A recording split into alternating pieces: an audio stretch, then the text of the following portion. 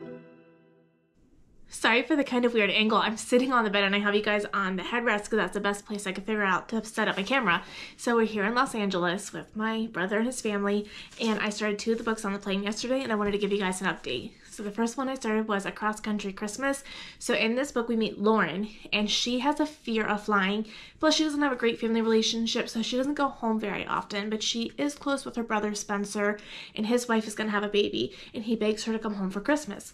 Well, Lauren has a fear of flying, so she won't get on an airplane. She needs to get from California to Illinois, and the trains have sold out, and there are really not a lot of good options. Well, Spencer's best friend, Will, also lives in California and happens to be going home to Illinois for Christmas, so Spencer arranges for Lauren and Will to drive across the country together. Now, Lauren has a really bad impression of Will. He was very much like a playboy kind of guy in high school, um, really like schmoozed girls. That feels awkward to say, but you get what I'm saying. Uh, partied a little bit too much, and it's hinting that like something happened between them, but we don't know what it is yet. And so she hates him, and she's so mean to him on the car ride. And he when it's dual POV, which is amazing because when we see his perspective, he talks about how he knows that he made bad choices when he was younger and he's grown up a lot and he wishes that she could see that. And on this trip, they're just going to a lot of places that are really historical and significance, like, you know, the traditional drive across the country route. And she's starting to fall for him it's a really good book. The only thing I don't like is she's a little dramatic, especially to be in like I'm pretty sure she's in her late 20s and she's like, I think I'm falling for him and that's scaring me to death. And I'm like, okay, like come on. He's your brother's best friend. Like it's he's not a serial killer. Um, so she's just a tad bit dramatic and a tad bit mean. Although she's very type A and I'm type A, so I get that. So I don't love her, but he is amazing and it's a really good book. But the other one Oh my god, it is phenomenal. So this is Holiday Romance. So in this book, we meet Molly and Andrew, and they have been flying home on the last flight from Chicago home to Ireland for the last 10 years. Well, this time a freak snowstorm grounds their plane so they can't fly home. Molly's not into the holidays at all, but Andrew lives for the Christmas holiday with his family back home and she just makes it her mission to get him home. Uh, I read about half of this book and already, so they can't fl- fly out of Chicago to Ireland because of the snowstorm, but they have worked workarounds. They have flown to Atlanta, they have flown to Argentina, they have gone over to Paris, then they've gone to London, and they're like traveling around the world trying to avoid this massive snowstorm to get him home in time for the holiday. And they've been friends for 10 years and she's starting to have feelings for him. And I started reading this when I was in the Chicago airport, and I feel like that's really cool because this book opens up in the Chicago airport and they're sitting at the gate saying their flight is canceled. And like, I just, just being in an airport kind of made me appreciate like you know, that entire atmosphere. So this one is so, so good, but honestly, they're both perfect picks for the start of this California Christmas reading vlog.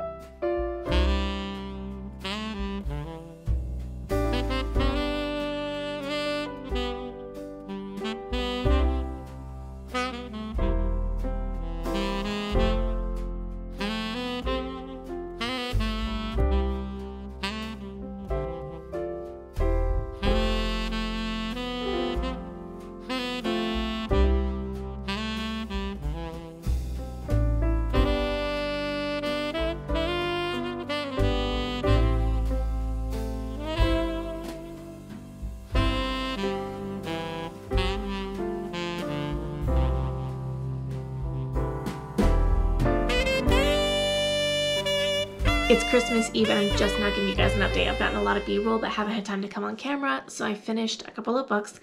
The first one was A Cross Country Christmas. I did like this book overall, but I still don't love the main character.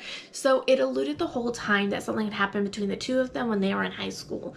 And when I finally got to figuring out what it was, I do understand when she was 17 why she got so offended because I would have when I was 17 as well. But the fact that she was late 20s or early 30s and she still didn't have enough perspective, basically nothing bad happened. He just said something when he was drunk. Like, come on. When you are in your late 20s or early 30s, you should definitely like be able to let that go a little bit. Like, I mean, she held a grudge and was mean to him over this dumb comment he made when he was 17. And so I was like, really? that was it. And he just was extraordinarily nice to her. So the book was really good, but I think he could do better. So it wasn't the best. But then after that, I finished no, I didn't finish. After I finished that book, I started The Naughty, the Nice, and the Nanny. It's from the Holiday Brothers, the first one. Now, my friend Autumn told me that she did not like this book, and I'm about halfway through. So I'll give you guys an update on that one. It's a pretty short novella. I'm not disliking it. I'm not loving it. But don't worry. This is not a bummer update because I finished Holiday Romance.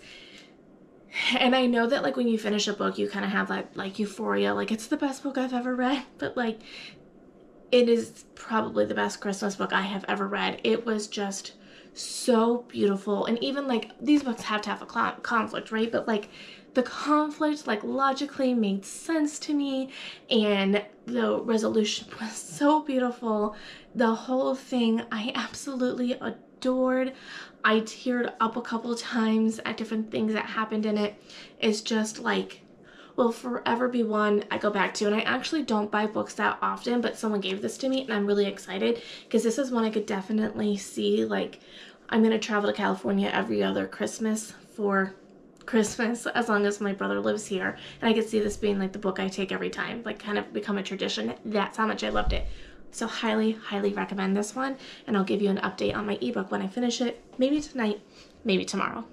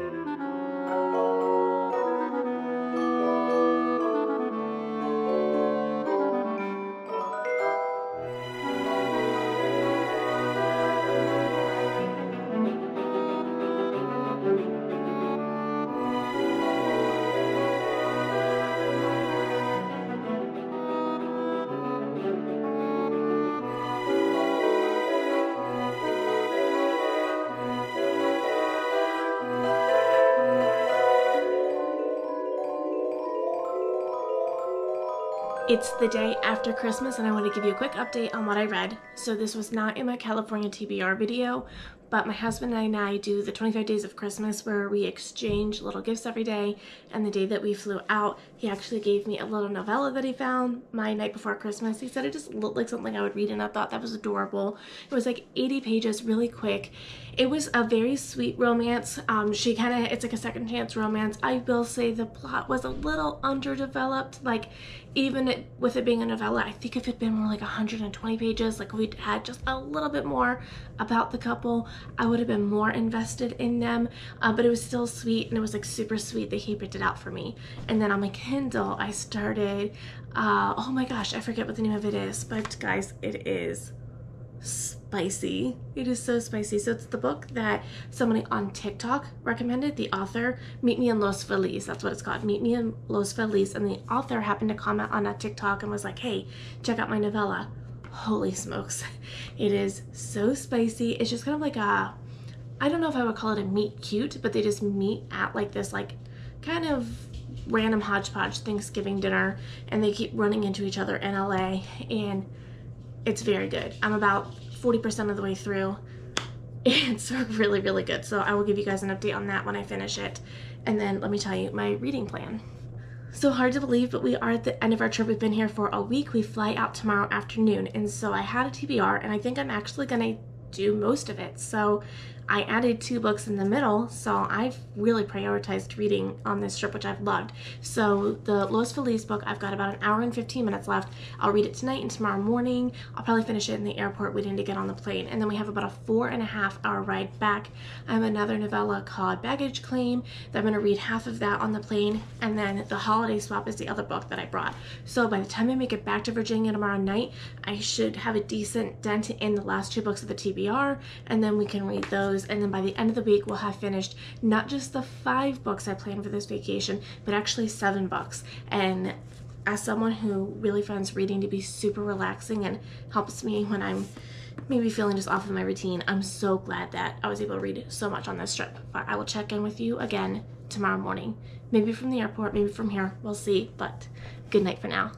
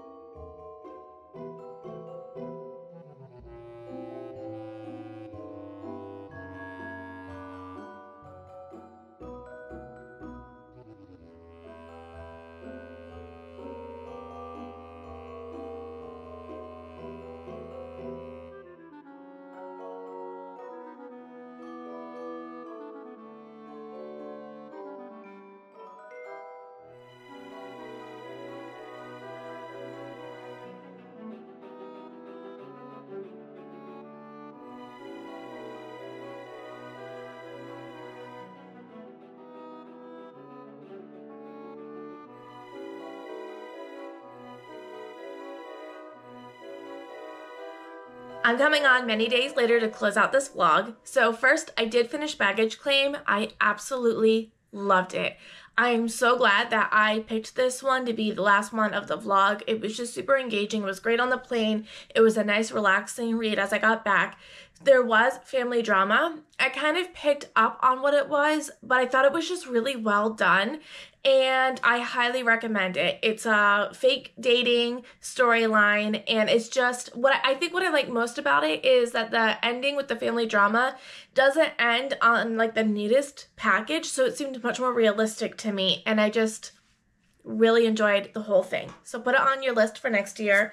And then on my list for next year is going to be the holiday swap. So you did see some B-roll, I think, I remembered to film that of me reading this on the plane. I did start it and I am enjoying it. And I do feel kind of bad because my husband went and bought this for me because I wanted to read both of Maggie Knox's books back to back. So my plan was to read The Holiday Swap coming home from the trip, and then I was going to read All I Want for Christmas in this last week of Christmas. And I just, I have too many books on my plate. I ended up working more than I thought and I found myself rushing through this one to get this one in, and I don't want to do that. I don't want to rush through books that are supposed to be super good just for the sake of getting them done. So I'm actually going to save these till next year, so it'll be nice. I actually pack my Christmas books with my Christmas decorations so that way they don't take up space in my bookcase because I don't have a lot of space in my bookcase. So I'll pack these up and then when we take all of our totes out in November to start decorating, I can pull out the books and have my first Christmas 2023 reads. So I hope you guys enjoyed the vlog. I did get some more clips this time than I did during my beach vlog in October, but I'm still really new to YouTube, so the idea of like filming in front of other people is a little nerve-wracking, but hopefully the vlogs will get better as we go on, and I hope you enjoy coming to California with me over Christmas.